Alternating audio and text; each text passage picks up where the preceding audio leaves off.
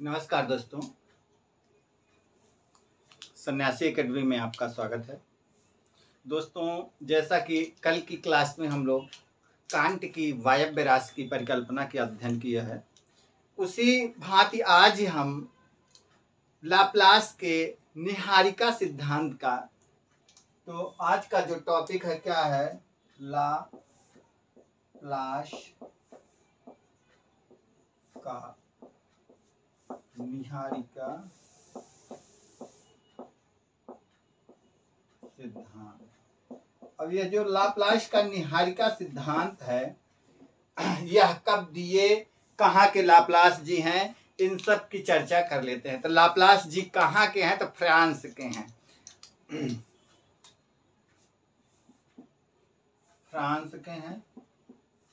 इस सिद्धांत का प्रतिपादन कब किए तो आपका सत्रह ईस्वी में प्रतिपादित किए कब?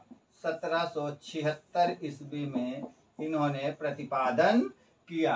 क्या? तो लाप्लास का यह निहारिका परिकल्पना और इनकी जो पुस्तक है, किस पुस्तक में इसको प्रकाशित किया है तो इनकी पुस्तक है exposition of the world system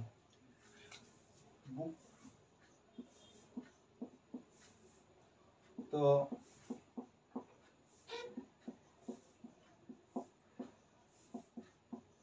exposition of the world system.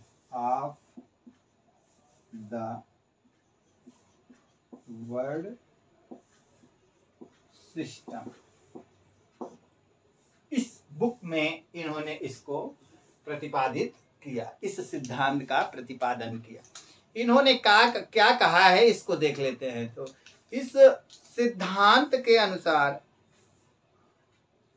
इस सिद्धांत के अनुसार क्या है? जिस आद्य पदार्थ से सौर तंत्र की उत्पत्ति हुई है वह आरंभ में क्या था?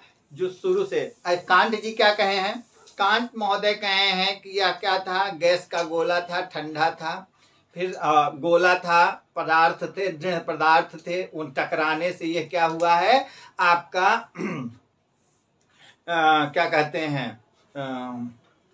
सौर तंत्र की या फिर सोलर सिस्टम की उत्पत्ति हुई है। दृढ़ पदार्थ थे, कई पदार्थ थे, दूसरे में टकराए हैं, उसके बाद एक छल्ला बाहर निकला है, उससे पदार्थ ग्रहों का निर्माण हुआ। छल्ला कई छल्ले बाहर निकलते गए और उनसे क्या हुआ है? ग्रहों का निर्माण। कांट कहे हैं। ने, अब इनमें क्या कहा? लाप्लास महोदय क्या कहे हैं कि यह शुरू से ही गर्म था। क्या था? शुरू से ही गर्म था। इसके बाद आपका यह जो है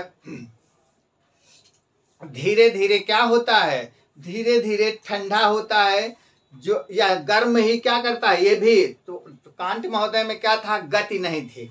क्या थी? शुरू में गति नहीं थी। टकराने के बाद टकराने के बाद क्या होती है? गति उत्पन्न होती है। तो इन्होंने दो चीज़ों का तो सीधे सीधे इन्होंने पहले क्या कहा कि यह जो है तप्त था गर्म था दूसरा यह क्या कर रहा था? घूर्णन भी कर रहा था। कौन? तो लाप्लास महोदय कह रहे हैं कि यह घूर्णन करता हुआ निहारिका था। क्या था? घूर्णन करता हुआ। तो ऊष्मा गतिकी के नियमानुसार इस घूर्णन करती निहारिका के तापमान में कमी आने के साथ साथ आयतन में भी क्या होने लगा? संकुचन होने लगता है। और घटते तापमान एवं किसके साथ? घटते तापमान एवं आयतन के साथ निहारिका की घूर्णन दर में सतत वृद्धि हो रही थी। जैसे भी क्या था? ये आपका, मान लीजिए।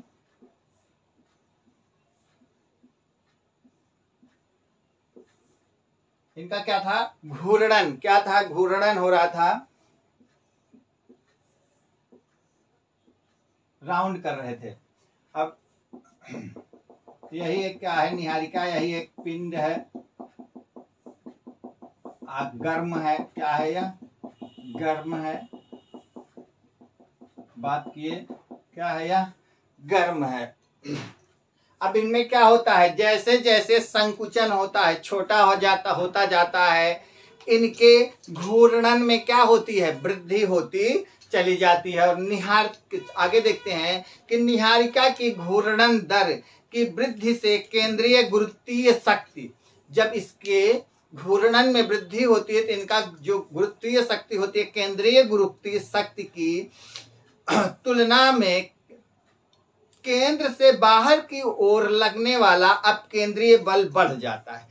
क्या होता है? अब केंद्रीय बल बढ़ जाता है। और जब अब केंद्रीय बल बढ़ जाता है तो जिससे आपका क्या होता है? जिससे आपका मध्य भाग से ही एक विशाल काय छल्ला क्या करता है? निकल कर निहारिका के परिता परिक्रमण करने लगता है। एक छल्ला निकलता है और वो क्या करता है? निहारिका के चारों तरफ़ घूमने लगता है। ऐसा लाप्लास महोदय कह रहे हैं। अब इनके छल्ले को देखिए कि छल्ले का गैसीय पदार्थ भी ठंडा होने के क्रम में संकुचन होने लगा तथा संकुचित होकर घनीभूत होता है। क्या होता है? घनीभूत होता है और यही घनीभूत ही पिंड ही आज क्या है? यही घनीभूत पिंड ही आज के ग्रह हैं, जबकि संकुचित होती निहारिका आपकी सूर्य है। क्या है? जो संकुचित होती निहारिका है, वह सूर्य है, और जो एक छल्ला निकला था,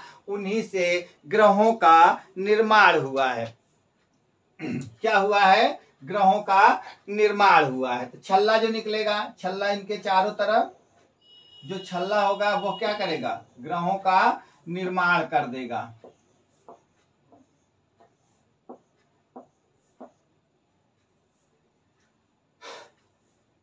ये हो गया। अब इनकी कुछ आलोचनाएँ हैं, उनको हमको देखना है।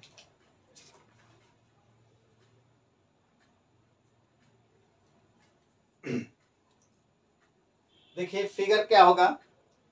ये आपका पहला फिगर सॉरी ये क्या होगा? तप्त गोला तप्त गोला है। देख लो तप्त गोला है।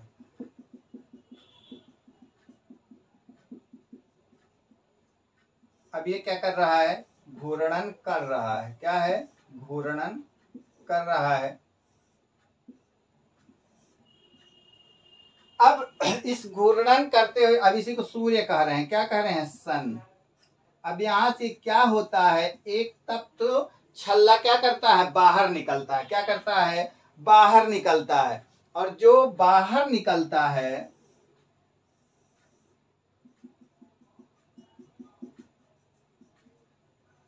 यही बाहर निकला हुआ छल्ला ही क्या होता है? आपका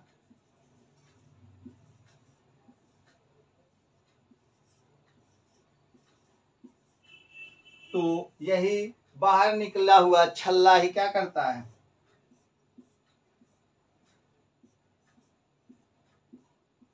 ग्रहों का रूप धारण करता है। संकुचित, ठंडा और संकुचित होते हुए ग्रह के रूप में क्या हो जाता है? यह हो जाता है। तो इन्होंने आपका ये बताया कि यह छल्ला है और ग्रह और इनके परिता भी देखिए छोटे छोटे जो कण होंगे, बचे हुए, वो क्या हो जाएँगे? उपग्रह। उपग्रह, ये क्या है? ग्रह है और ये पूरा क्या है? छल्ला है। क्या है? छल्ला है। ऐसा आपका फिगर हो जाएगा। ये आपकी निहारिका है। इस निहारिका से क्या होगा? एक छल्ला बाहर होगा। केंद्रीय भाग से एक छल्ला बाहर होगा। वही छल्ला आपका क्या है? उन्हीं से ग्रहों की उत्पत्ति हुई है। ऐसा आपका कौन बता रहा है? तो आपके लाप्लास महोदय। आइए, आलोचना कर लेते हैं।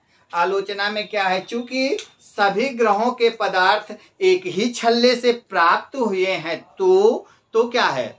तो आपका क्या होना चाहिए? इसमें समानता होनी चाहिए। श्योर है? परंतु ऐसा नहीं है। तथा यदि छल्ला निहारिका से प्राप्त हुआ है तो सूर्य एवं ग्रहों में भी क्या होना चाहिए? पदार्थों में इनके समानता पाई जानी चाहिए। ऐसा भी नहीं है क्योंकि ग्रह भारी खनिजों से निर्मित हैं, जबकि सूर्य हाइड्रोजन तथा हीलियम जैसे तत्वों से निर्मित है। यह आपकी क्या हो गई? इनकी आलोचना हो गई। सेकेंड आलोचना क्या होती है कि सभी ग्रह एक ही छल्ले से निर्मित हैं तो इनका क्या तल, प्लेन जो होता है, तल और नितल तो तल। क्या होगा? घूर्णन तथा परिक्रमण की दिशा समान होनी चाहिए। परंतु क्या है? परंतु ऐसा नहीं है। कुछ ग्रह पश्चिम से पूर्व की ओर तथा कुछ ग्रह पूर्व से पश्चिम की ओर क्या करते हैं? घूर्णन करते हैं। अब ये हो गया तो जिनमें आपका कौन कौन सा पश्चिम से पूर्व और कौन सा पूर्व से पश्चिम है, इसको भी बता दें।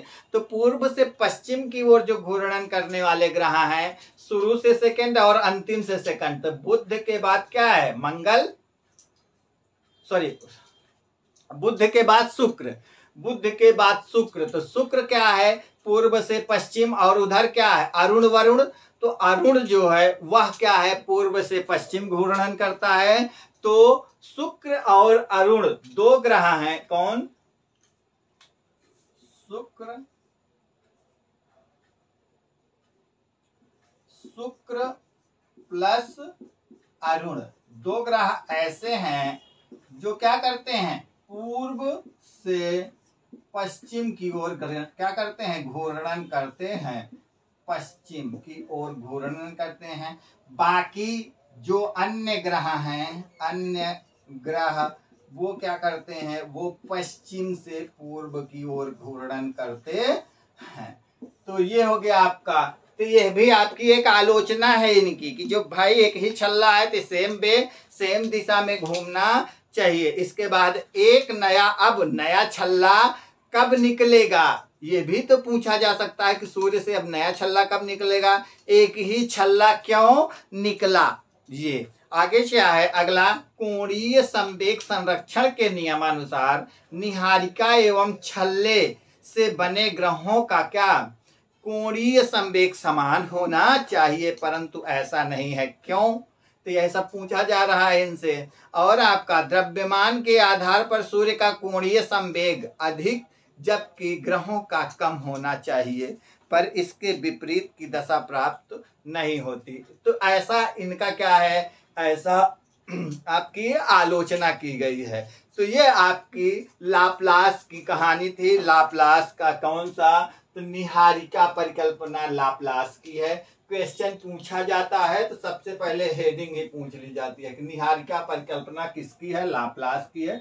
कब दिए? सत्रह में दिए। किस पुस्तक में इसका जो है स्रोत है? किस पुस्तक में इन्होंने बताया है? तो the exposition of the world ये किसकी पुस्तक है? तो किसकी है? लाप्लास महोदय की है। इतना जानना ज़्यादा ज़रूरी है। इसके बाद ये सब क्या है? कहानी है। कहानी है कि क्या है यह? निहारिका है। निहारिका गर्म है, गर्म निहारिका क्या होती है? धीरे धीरे धीरे धीरे क्या होती है? संकुचित होती है, ठंडी होती है और इनमें घूर्णन गति बढ़ती है।